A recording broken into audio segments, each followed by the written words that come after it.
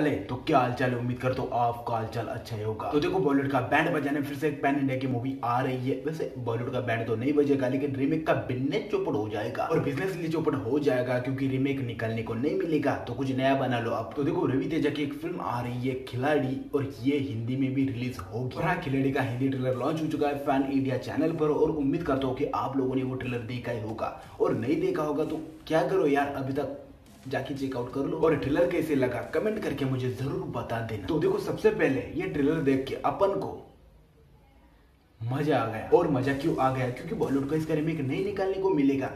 यार बॉलीवुड के बीच में आता है। अपन का बॉलीवुड कुछ कम है क्या? नहीं। देखो ट्रेलर देखे कुछ ऐसा लग रहा है कि एक्शन सीज तो हाई लेवल के होंगे।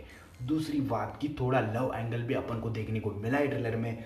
तीसरी फैमिली ड्रामा और चौथी बात कहूँ तो बैकग्राउंड म्यूज़िक वाज फंटेस्टिक मुझे तो सबसे अच्छा लगा बैकग्राउंड म्यूज़िक और देखो मूवी का ट्रेलर ऐसा काटा है कि मूवी की स्टोरी बिल्कुल भी समझ में नहीं आ रही है। और जो सस्पेंस है, जिसमें मैं आपको बताना भूल गया कि इसमें Ravi Teja double role play करने वाले तो वो सस्पेंस इसमें बिल्कुल भी देखने को नहीं मिल रहा है ट्रेलर में। इसकी वजह से मूवी देखने की हाइप और भी बढ़ती है। और मैं आपको बता दूँ की एक्शन क्राइम थ्रिलर फ़िल्म है और देखते कि ये पुष्पा की तरह चलती है या नहीं। और हम ये कह नहीं सकते कि चलेगी ही, क्योंकि बॉलीवुड की एक मूवी आने वाली है बधाई हो। ये भी 11 फरवरी को आने वाली है। तो देखते हैं, बॉलीवुड ऑडियंस कौन सी मूवी देखना पसंद करते हैं। तो एनीवेज अपनी खिलाड़ी मूवी के लिए काफ़ी एक्साइटेड है और बधाई हो के लिए भी। और आप इन दोनों मूवी में से कौन से मूवी के लिए ज़्यादा एक्साइटेड हो, मुझे कमेंट करके ज़रूर बता देना। और देखो, तेलुगु इंडस्ट्री धीरे धीरे आज के टाइम पे कुछ इस तरह जा रही है और बॉलीवुड इंडस्ट्री कुछ इस तरह। लेकिन हम ये नहीं कह सकते कि बॉलीवुड इंडस्ट्री इधर ही रहेगी। फ्यूचर में वो जा सकती है भाई बॉलीवुड इंडस्ट्री है। अच्छा।